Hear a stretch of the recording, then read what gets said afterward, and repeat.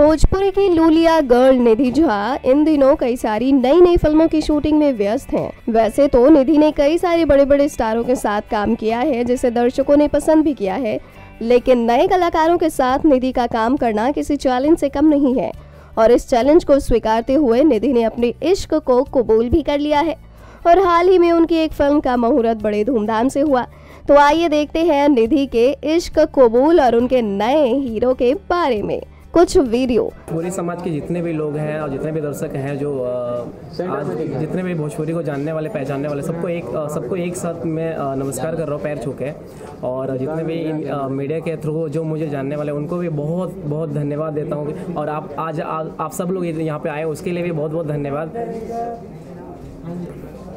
Film के बारे में जानना चाहूँगा? किस तरह की फ़िल्म है आपकी? अ, फ़िल्म के बारे में देखे स्टोरी मैंने सुना था।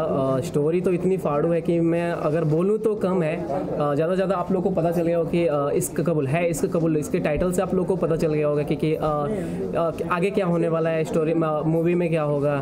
तो टाइटल से ही आप लोग को पता चल रहा होगा। ओके मैम आप क्या कहना चाहिए इश्क कबूल है क्या कुछ कहना चाहेंगे? देखिए इश्क कबूल अब ये फ़िल्म में ही पता चलेगा जब आप हमारे जितने भी मेरी दूसरी फैमिली है सिनेमा घरों में जाएँगे और देखेंगे कि इश्क कबूल है कि खुशी है कि सूरज मैं नौ साल से सात में फ़िल्म की है इसमें वो स्टिल फोटोग्राफर था।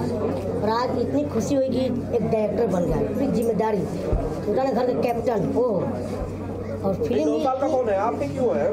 मैंने इस इंडस्ट्री में नौ साल से मैंने साथ में काम किया। वो स्टिल फोटोग्राफर काम करता था मैं एज एक्टर और आज इतनी अच्छी फ़िल्म निकला है इस कबूल है इस कबूल। लोग ने टीवी पर देखा था इसका शो सीरियल और फ़िल्म बनने जा रही है हिंदी भोजपुरी में। भी नया लड़का पुरानी हीरोइन पुराने सब कलाकार हैं बड़े बड़े बधाई है उन लोगों को प्रोड्यूसर साहब को भी खास कर सामने बैठे हैं। ऐसा जिम्मा लिया है सौ लोगों के घर चूल्हा चलाने के लिए।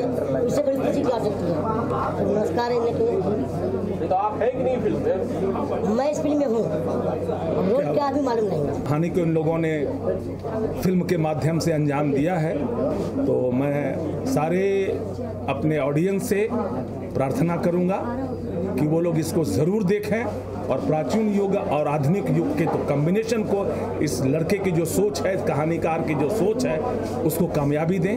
हम इन लोगों से यही प्रार्थना करेंगे।